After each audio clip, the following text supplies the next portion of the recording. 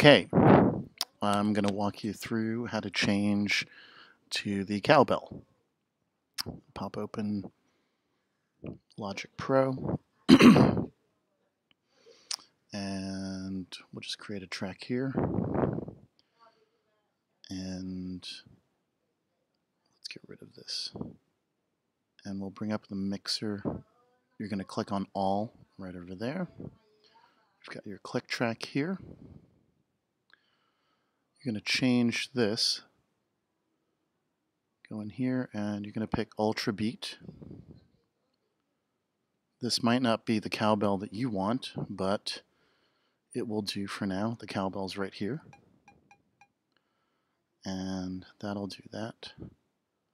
And now you're going to go to metronome. You're going to right click, go to metronome settings, and you're going to change this to G sharp 2. And that will give you the cowbell that you're looking for.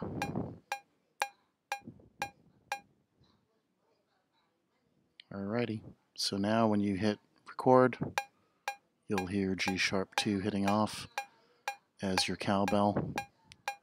If you're not happy with that cowbell, I think there's a little bit that you can do here with the tonality. It's not really a lot, to be honest with you, but it is something. Um, and that's how you do it.